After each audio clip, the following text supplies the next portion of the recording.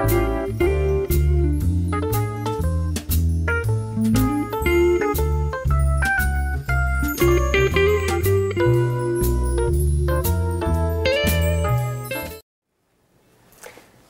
I'm Valerie Graham and welcome back to Natural Bliss.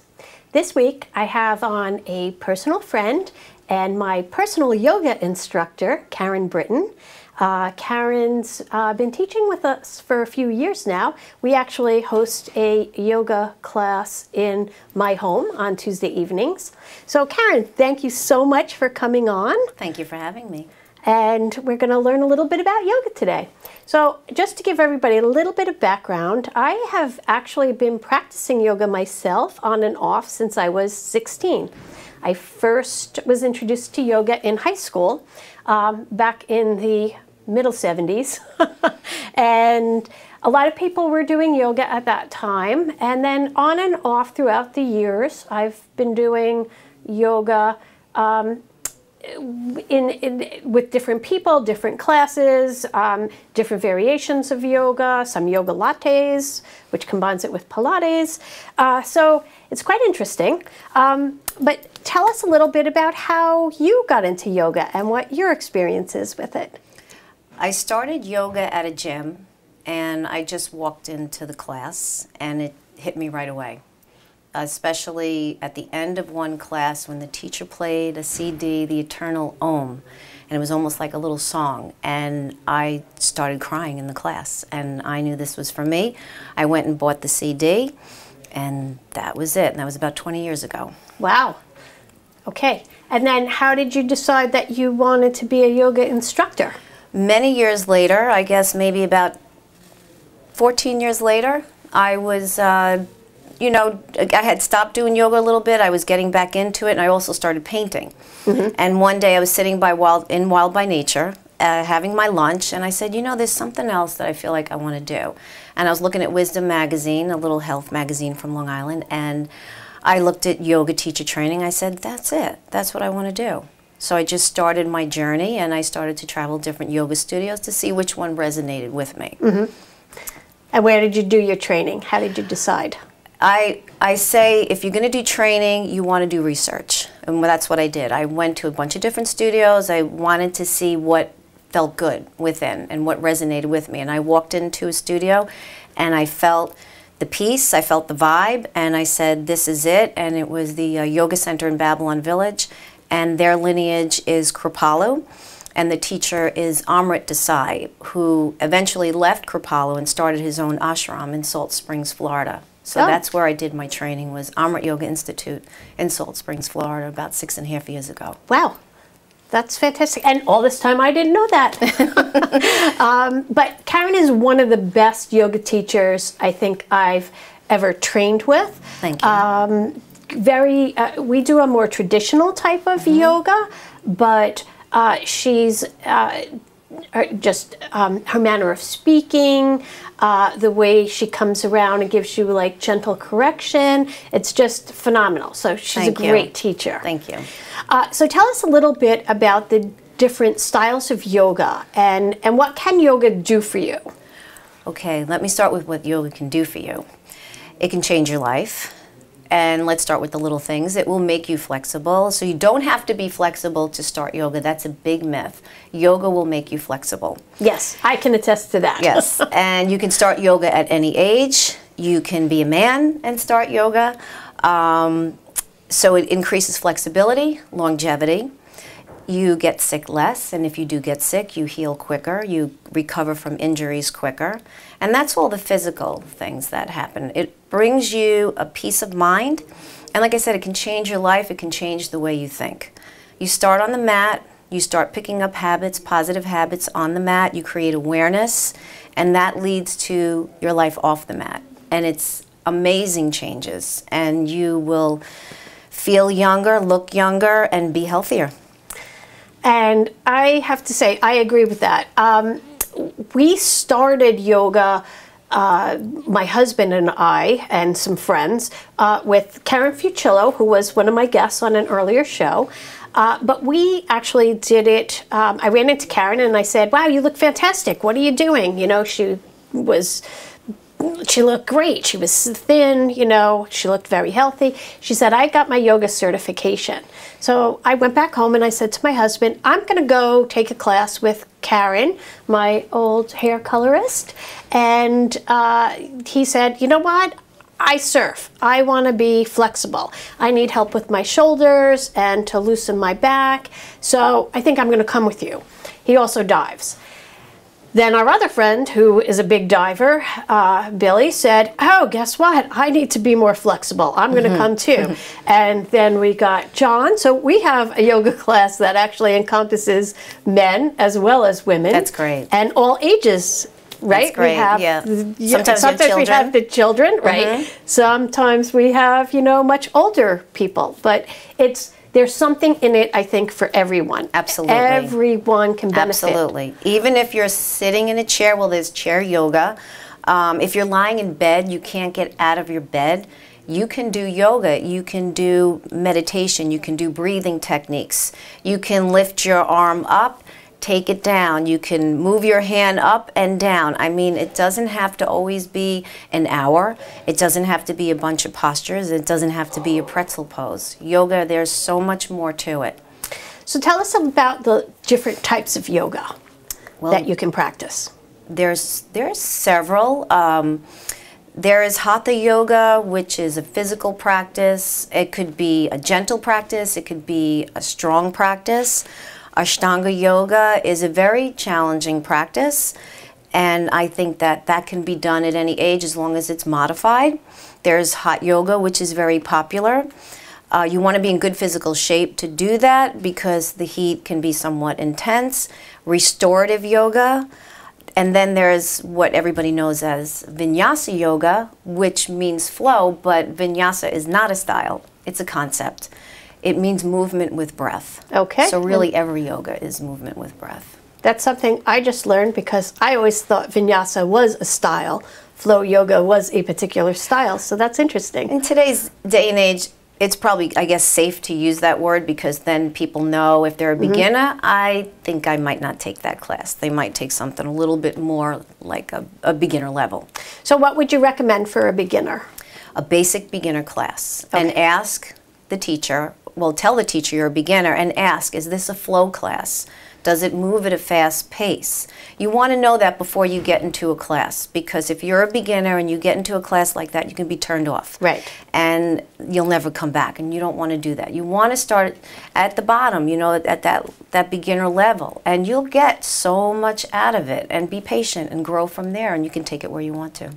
Okay. And I have to say, Karen is excellent at modifying all of uh, the poses in the class to suit our class. So sometimes we have people who are trying it out for the first time, and sometimes people have different injuries that day or week.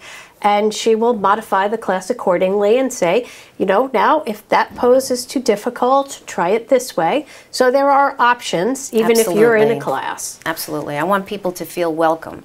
And uh, Krishnamacharya is uh, considered one of the popular teachers of modern yoga. He started, he trained, uh, taught, I should say, Pattabhi Jois, who started Ashtanga Yoga.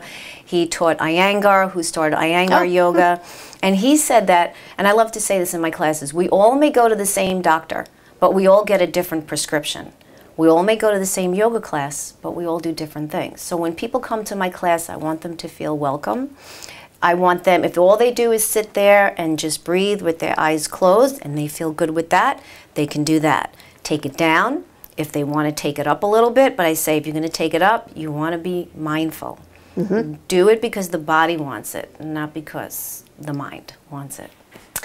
Now, years ago, uh, when I was uh, back in the probably late 90s, um, I was living in Long Beach, and my allergist was Dr. Dean Mitchell, and he had instituted a wellness program for people with uh, asthma. And I do have asthma myself, and my yoga practice, excuse me, has helped with my asthma quite a bit and my breathing. But he encompassed meditation, yoga into the practice, breathing techniques that you could learn. So there's a lot to offer mm-hmm, people mm-hmm. with yoga. Absolutely. Now let's talk about meditation a little bit because that was a big part of his class as well, mm-hmm. learning to calm the mind and meditate. meditation has been proven to reduce stress and to relax the mind. And there's different forms of meditation. And yoga, a practice in itself, can be a movement with meditation. You can get to that level. And there's different kinds. And I recommend to try different kinds. You know, try a guided meditation, uh, try a meditation where you focus on an object. And then there's Zen meditation, which is the one that I like, where you sit and you eye, your eyes are open and you're gazing at a point ahead of you, and it's just you and your thoughts. You cut through the chase and you go right to the to the issue. You know, your mind and your thoughts. There's nothing to distract you and sugarcoat it.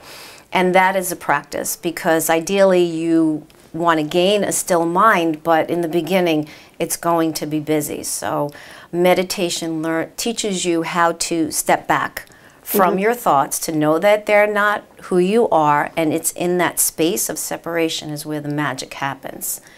And it just you can start just by 5 minutes a day just sitting quiet and observing and remember to remain untouched and unattached by your thoughts. Okay. So Regina Stark, who is my guest, um, who has the Center for Art and Healing, has some great guided meditation CDs. Um, Dr. Mitchell, we actually did a walking meditation. Yes. Uh, so that was very interesting. That's great. And I've myself uh, done some Buddhist sits where we're sitting in silence with our eyes closed, thinking of nothing for long periods of time, sometimes like an hour. um, and that's very difficult. I find to really turn your mind off and relax very difficult. And you do need to keep doing it, and eventually Yes. you get there. But it creates awareness. Yes. When you know you're doing it, that's the first step. And you can be in that place for a long time. And you could be thinking, I know I'm doing it. I know I'm doing it over and over again. But then it gets to a point where you learn to relax with that and you realize you're doing it, you watch yourself doing it, and then what it is that you're doing, whatever it is that you're thinking about, you start to kind of see yourself. You become the observer. And you go, well, hey, wait a minute, this situation in my life's not working out. And then you learn not to fight it, but to relax with it. And that's what yoga teaches us to do. It teaches us to relax with what is. And when you can step back and do that, you create this space. You create awareness of what's going on, you acknowledge it, you accept it, you allow it. And when you can do that, then you're relaxing with it, and you go, okay, now how am I going to solve this situation if that's in fact what it is that you're working on? I think one of the um, most difficult things that I find watching people come and go in the class um, is uh, the breathing techniques. I think once you get to master your breathing, you get to relax a little bit and the poses come easier. Uh, but I think it takes people a while to learn how to breathe and to keep breathing during all those poses. Well, yeah, it does. It takes practice just like anything else. In the beginner, as a beginner, in the beginning, as a beginner, you will be thinking about where to put my hand. What am I doing with my feet? What am I doing with my belly? What am I doing with my eyes? And then the teacher reminds you about breath. And then you learn to balance, it becomes more organic. You learn to balance the uh, attention, the awareness of your breath and the body at the same time. And what I tell my students to do so they can practice breath is to take breath breaks throughout the day.